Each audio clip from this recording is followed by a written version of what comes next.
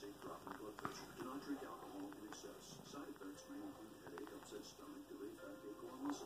To avoid long-term injury, get medical help right away for an erection lasting more than four hours. If you have any symptoms, any symptoms, any symptoms, any symptoms,